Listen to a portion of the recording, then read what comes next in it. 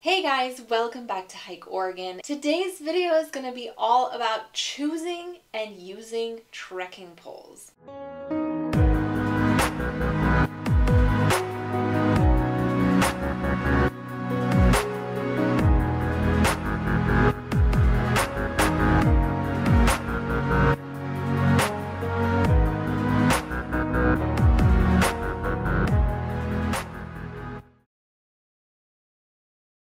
If you are new here, welcome to the Hike Oregon family. I make hiking and backpacking vlogs as well as gear reviews and just general tips and tricks videos to help you become a more confident hiker and backpacker. If you enjoy content like that, click that red subscribe button and the notification bell so that you are notified every time I make a new video. And if you want more content from me, you can always support me on Patreon where for as little as just $1 a month, you get a ton of extra content. So if you are new here, you might not know this, but I have actually been making YouTube videos since the summer of 2016. And that whole time of making all these gear videos and tips and tricks videos, I've never done a video about trekking poles. Why, you ask? because for the longest time I was not a trekking pole user. For years and years, I just didn't use trekking poles, whether it be for backpacking or day hiking or any scenario. I didn't even use trekking poles for snowshoeing, which they've really come in handy for snowshoeing, but I'll get into that later. So I didn't really understand the benefits or see the need for trekking poles, thus I never made a video about them because was not passionate about trekking poles. So as I've done more hiking and backpacking and also hiking in different terrains, I have come to see the benefits of trekking poles. So I thought now is a great time to go over some of the benefits on trekking poles and then also there are so many trekking poles out there, so many different brands, so many different types and designs, and how do you know which one to get? So um, the second part of the video is going to be about choosing the right trekking poles for you. So obviously the number one benefit of trekking poles is enhanced stability. So by adding two additional points of contact while you're hiking, just adds stability, especially beneficial when going downhill. Maybe you're on loose gravel type terrain, uh, keeps you from slipping and falling. It really adds a extra sense of security when doing tough terrain, especially. Also, there are definitely circumstances where folks, um, even if they're not on challenging terrain, who would prefer to have that extra stability. For years, um, because I take a lot of pictures and have my camera and stuff, for the most part, I just have one trekking pole, and even just having one trekking pole adds stability. There's definitely been times where I'm on something really steep and I am slipping, and the trekking pole has caught me and it's kept me from falling, which is really nice. Really, the only time that I have two trekking poles is when I'm snowshoeing. That is when um, having two and having that rhythm is super nice. And also, um, snow can just be tricky to hike in. So having two trekking poles for that is a must. The next pro of trekking poles is joint support and injury prevention. Using trekking poles takes a lot of pressure off of your knees, especially when going downhill. I have definitely found this to be true. It is so much easier on your joints, on your body, when you have trekking poles going down super steep. And it just absorbs some of that shock that you would be only putting into your knees when going downhill. So, highly, highly recommend, especially if you have um, joint issues or if you're doing a lot of steep terrain, trekking poles are a must. Another pro is improved endurance. You might not like be super aware of this when you're using them, but if you use them on one hike and then not on the next, you might notice this. It just helps conserve some energy. When using trekking poles, I find that I can be more in a hiking rhythm. That is great for en energy conservation. Also, like I just mentioned, it takes a lot of pressure off your muscles. So when going uphill, your quads are doing so much work. So when you have trekking poles and you're climbing like this, some of that effort is now being put on your upper body, which is super great because us hikers generally have really, really strong legs and kind of puny upper bodies unless, you know, we go to the gym. A lot of hikers are really strong in their lower body, and this is a great workout. So if you're climbing up that hill, you got the trekking poles, you'll feel it in your back for sure. Your arms, your, your shoulders, you'll feel it. It's a great workout and it takes so much strain off your quads. Next is balance and posture. I have found that when I don't use trekking poles, a lot of the time, you know, you can be hunched over, especially if you have like a backpacking backpack on, you can be kind of hunched over. So uh, trekking poles really helps you to kind of be more upright. Also, the balance. Balance is huge. I've found trekking poles immensely helpful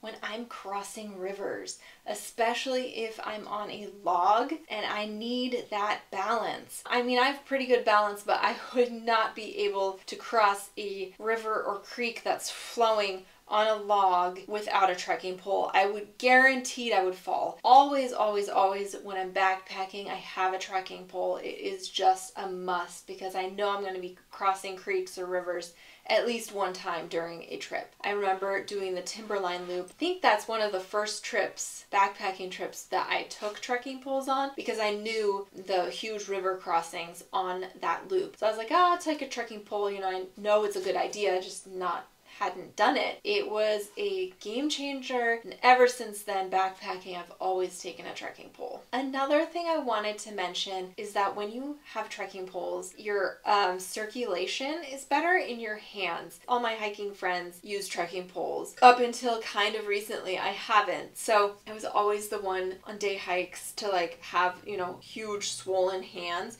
because I'm walking with my hands down. None of my friends had this issue because they're have they have trekking poles, so their hands are up. So this is huge. I hate that feeling of having swollen hands. It is so bad, especially in the summertime. Highly recommend if you have this problem, trekking poles you won't have this issue anymore. And last but not least, another pro is versatility. Trekking poles are not only trekking poles. They can be used for Hi, hi, hi, Hi. Oh my gosh. Hi. oh yeah? Oh yeah? Oh yeah? I'm talking about trekking poles. Can you wait? There's a sweet face. It's a sweet face. So, trekking poles can also be used for other things, especially during your backpacking trips. Something that I've seen hikers use trekking poles for. I have not done this, but something I recently saw in a YouTube video. I'll link the channel here. They're currently through hiking the PCT and they came up with this genius tripod thing that they put together three of their trekking poles and they hung their NOC Vecto water bag and their water bottle and made their own like gravity filter system because they're currently in the desert on the PCT and so there's not a lot of trees to hang your gravity filter from. So they just made this cool tripod contraption and it seems to work wonderfully for them. So that's a great idea. Another thing is obviously tents. A lot of tents nowadays are trekking pole tents. I have one from Outdoor Vitals, and you use your trekking poles instead of tent poles. So you're saving weight when you're backpacking this way because you already have trekking poles backpacking, and now you're just using them as your tent poles. I have a tent that actually has tent poles, so I don't need my trekking poles for that, but my tent has an awning that um, you would need two trekking poles for.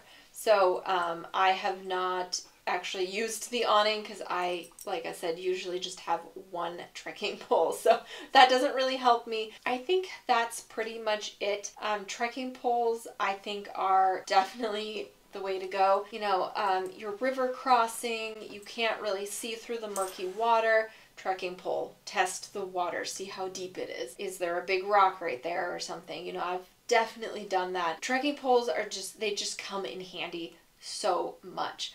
Also, like I said earlier, snowshoeing, they are a huge, huge help. I think this year was the first time that I really used trekking poles snowshoeing. And my goodness, I've, I mean, I've always kind of disliked snowshoeing. Now I know why my friends were having an easier time snowshoeing than I was because I wasn't using trekking poles. So I'm trying to stomp through the snow, you know, with no aid basically. The trekking poles aid in snowshoeing so much and I was expending so much less energy and it just made the trek so much more enjoyable. Now I'm going to show you the two trekking poles that I have, different designs, go over some of the features that trekking poles have and why you might want some over the other. So the first thing I'm going to talk about, just because I have them right here, is the size of the trekking poles and how it folds together, basically. So there are um, a few different designs. This is the just the one that you extend and it doesn't fold down as small. As you can see, it's quite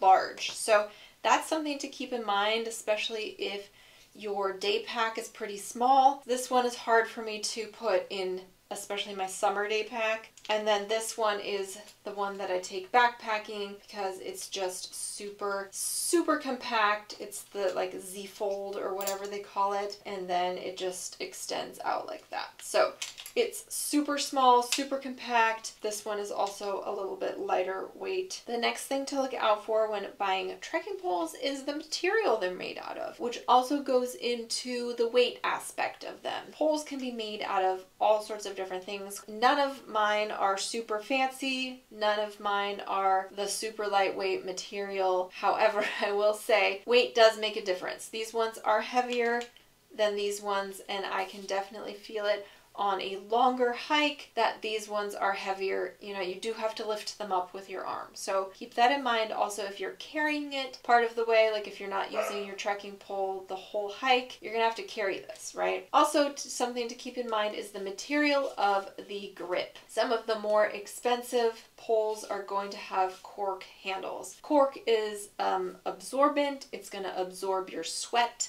it's going to form nicely to your hand shape. Cork is better. So more expensive trekking poles will have cork. I have found that with this, um, you can see these are fairly old. These grips have been chewed by chipmunks, ground squirrels, and such, so they're a little messed up looking. This is definitely more of a foam material. Your hands can get sweaty on this one. But I don't know why, maybe it's like a sentimental thing at this point, but these trekking poles have gone on all of my backpacking adventures with me and they're just sentimental. So even though they're not the best trekking poles. At this point, they're like my little security blanket. So I love these and I, I take them with me whenever I go backpacking. Okay, so the aluminum poles, which is what these are, they're usually, I mean, they're durable. Um, they're suitable for, like, I've had these since 2018, I think, and they have not broken or bent.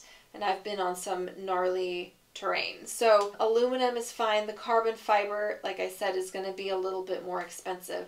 So if you get carbon fiber poles with the cork handles, you're going to pay a pretty penny versus something like this aluminum with um, just a synthetic handle, much, much, much cheaper, like a third or a fourth of the price. I have not seen trekking poles without straps. I think they all come with straps and they're always adjustable. So, but some straps are a little bit different. These are just simple nylon straps versus um, my more expensive trekking poles have a little bit of cushion on the strap. So it, it feels much better on your wrist when you're using the trekking pole. Next thing to look out for is like the locking mechanism. Personally, I've not seen anything different than what's on here. Basically, it's just like a clamp that you tighten and you clamp down. I have not seen anything that's a whole lot different than these. You'd basically just choose the size that you want and you clamp it down. And trekking poles come in different lengths, so make sure when you are buying your trekking pole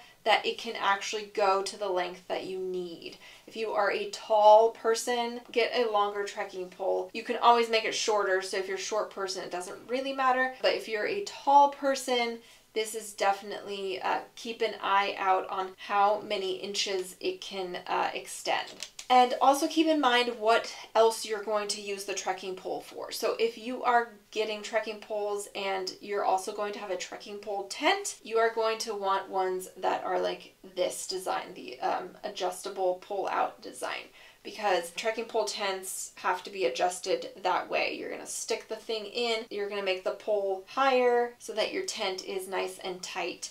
Um, whereas these don't have much extendable, like they can't get very short unless you collapse them, right? You could run into issues with that. So I cannot take these on trips where I'm taking my trekking pole tent. So keep that in mind if you're going to use it for other things. And most trekking poles come with like little rubber tips. They're um, most of them are sharp at the bottom, so they do come with rubber tips if you're walking on like concrete or something like that. Uh, you can put those on, and most of them come with snow baskets as well. So, uh, snow baskets you just screw on and they help you when you're snowshoeing. So that's pretty much it. If you have any questions about trekking poles, just comment below. I will also link down below an article just kind of overviewing everything I talked about and also linking examples of different kinds of trekking poles in case you are interested in purchasing some. If you don't already, go ahead and follow me over on Instagram. That's where I post all of my recent hiking and backpacking adventure pictures. And if you want to hike and backpack here in this amazing state of Oregon, check out my website, hikeoregon.net, and you'll find tons of information there, as well as get access to the hiking guide books that I've written over the years. Thank you so much for watching, and I will catch you on the next adventure.